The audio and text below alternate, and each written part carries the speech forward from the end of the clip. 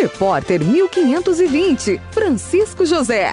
Meus amigos, hoje estou aqui falando direto da rua 7 de setembro, no bairro Altos 14. E ontem um rapaz de nome Arnaldo, ele foi encontrado sem vida na residência dele. É, caído ao chão, estava sobre o solo, sem vida, e foi encontrado pelo irmão dele, que é esposo aqui dessa senhora. Como é o nome da senhora? Raquel. Raquel, conte pra gente. Seu esposo foi que encontrou ele, como é que foi? Nós estava brincando aqui, nós estava aqui no... que horas? Era seis e, quar... seis e meia. Hum. Nós aqui no Chico José e o meu marido brincando com ele. Aí falou assim, vou pra casa, Raquel. Eu saí subindo, eu parei na Maria e ele veio, foi em casa. Aí pegou o carregador e veio deixar ele. Qual é o nome do seu esposo? Adalto Ribeiro Chaga. Aqui é o, o irmão do. Isso, do o irmão dele. É Arnaldo mesmo o nome dele? É Arnaldo mesmo. Uhum. Tem quantos anos, Arnaldo? O tinha quantos anos? Tem, tinha 36 anos. 36 anos, muito novo. Muito novo. Uhum. Só que tinha feito uma cirurgia, nele já tá com dois anos já. Só cirurgia que... de quê? De, do estômago mesmo. Uhum. Foi tirar metade do estômago dele. Mas vivia bem, comia Morava as coisas. sozinho aqui? Morava sozinho. Ele tinha uma companhia, só porque ela foi-se embora. Certo. Pra casa da mãe dela, pra ajudar ele. E foi uma coisa muito rápido, não deu tempo de dar socorro ele. Meu marido armou o carro, quando chegar aqui, estava sem vida. Você estava contando que seu marido tinha ido buscar um carregador. Um carregador. Estava aqui, aí foi... Ele estava aqui, ó. Ele foi em casa, foi tudo rápido. Foi questão de segundo. Ele chegou em casa, pegou o carregador e desceu. Quando ele desceu, a porta. Tinha deixado ele bem. Aqui. Tava bem, tinha fechado a porta, só tava a janela. Quando meu marido chegou aqui, chamou, chamou, e não atendeu. Aí meu marido pulou a janela que viu, acendeu a luz e encontrou ele morto. Aí falou assim: não, abriu e foi correr atrás de um carro para levar ele. Porque ele pensava que era uma de um. Um desmaio. Isso. Tava só desacordado. Aí a Cristina, minha vizinha, pegou o carro, foi muito rápido ela, e deu a volta. Quando chegou aqui, já não estava sem vida já. Aí correu, todo mundo se assustou. Eu fiquei nervosa, sabendo o que fazer na hora. E ele não apresentava nenhum problema no coração, nada disso? Não, os exames dele tá tudo feito. O exame dele nunca deu nenhuma Nunca alteração. deu nada, nunca deu nada. Hum. Nunca ele não falou que estava sentindo nada de coração. A gente. operação que ele tinha feito, probleminha que ele tinha passado de, de doença era no estômago. E É no tinha, estômago. Tinha feito uma cirurgia. Tinha feito, ele, ah, dia 28 agora, ia pro médico, ele né, tinha cursos marcados já para ele. Agora, mais informação é com meu marido só. O velório está acontecendo aqui na casa 873, na rua 7 de setembro, aqui no Alto dos 14, né? Nosso 14. E o sepultamento vai ser que horas? 5 horas da tarde. 5 horas da tarde.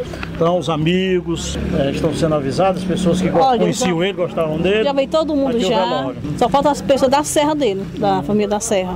Que já foi todo avisado já, todo mundo. A família dele mora onde? O restante da família? Olha, só Porque tem- tem o seu marido, sua esposa e irmão dele que morava aqui perto, né? A irmã dele mora em Brasília. A irmã dele mora em Brasília. E não pode vir, que é muito longe. Foi avisada já hoje? Foi avisar, foi avisar na mesma hora. Ontem mesmo. Ontem mesmo, na hora que o sul já peguei o telefone, já liguei para ela já. E mãe, pai, ele ainda, ainda Olha, tinha? o pai dele faleceu e a mãe dele também. Ah, já não tinha mais pai nem mãe, Não né? tinha, só tinha nós dois aqui mesmo. Curioso, né? Isso aí, isso aí é um negócio inesperado, né? Achei interessante porque que a polícia veio fazer aqui. Porque aí foi pro hospital, ninguém informou ninguém sobre a polícia. Aí os policiais chegaram aí todos cheios de marra com a gente. A gente não teve culpa de nada, não sabia? É porque né, nessa situação, assim, quando a pessoa é encontrada, é morta né, dentro de casa, aí é um procedimento da polícia, Mas por que, por que, que o cara da evolução falou pra gente? Nós tinha atrás. Não tem informação de nada. É um procedimento, é como se fosse assim um achado de cadáver, digamos assim.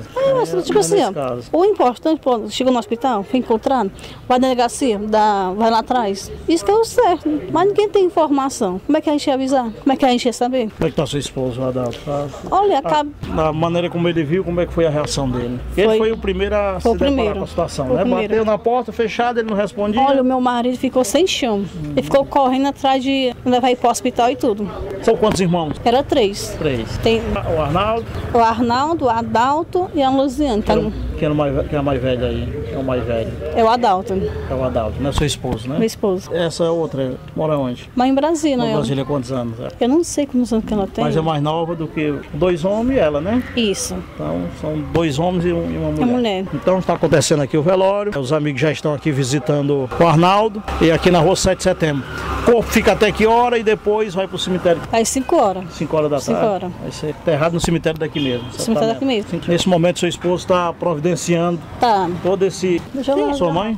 Não, é a vizinha, a vizinha do Arnaldo. A senhora, como foi aqui? A senhora Não, eu, eu já convivendo com ele há muito tempo, desde que ele fez a cirurgia. Qual é o seu nome? É Lúcia. Dona Lúcia. Desde que ele fez Ele a fez a cirurgia. de estômago, foi? Foi no intestino. No intestino? No intestino. Tá com dois anos, não tá, Raquel? Com dois anos. Com dois anos que ele fez essa cirurgia, mas é uma cirurgia muito delicada, que tirou a metade do intestino. Aí eu cuidava dele, fazia sopa. E a mãe dele ainda era viva, fazia sopa pra ele, fazia sopa pra mãe dele. Mas estava bem dessa Tava bem, ele tava bem. Mas ele era aquela pessoa que nem que ele sentisse as coisas, ele não dizia pra ninguém, que ele não gostava de incomodar ninguém. Ele não gostava. Eu, eu dizia, Arnaldo, quando você sentir alguma coisa, vá bem aqui, tão perto que eu moro aí, vá me chamar ali, me chama qualquer outro vizinho aqui.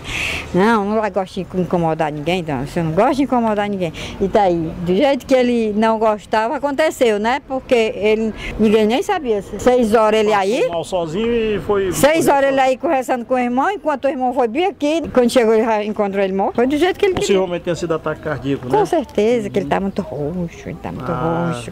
Pode olhar Os ali. sinais é de quem, Os quem sinais um, foi, foi, um ataque cardíaco. foi. Pois é. Com certeza. Aí e Deus de- bote de- ele no bom lugar, porque ele merece, porque era gente muito boa. Isso que eu, isso que eu, tô, que eu ouço falar dele. Não é porque ele tenha morrido, porque se fosse ruim a gente dizia também, isso né? Eu ouço falar muito desse Mas gente aí. muito boa. Pra Boa. mim é um filho. Eu não é uma pessoa amiga de todo mundo. Todo mundo. A- minha menina que mora bem ali estava até dizendo, pronto, acabou a alegria da rua. Porque todo mundo que passava, ele dizia uma brincadeira, dizia, ei, fulano. A minha menina gritava da lá, ei, não sei o que. E ele, vai pra lá, ladrão, se benzendo, e fazendo toda brincadeira, né? Muito brincalhão, muito. Deus acolha a alma do que lar. Deus acolha a alma dele, bote ele no bom lugar. Porque se ele não for pro bom lugar, menos é que nós. vai, né? Quem é que vai? Nós daqui não vamos, né? Obrigado, tudo de bom, Não, querida. você- Tá aí, meu irmão. Repórter 1520, Francisco José.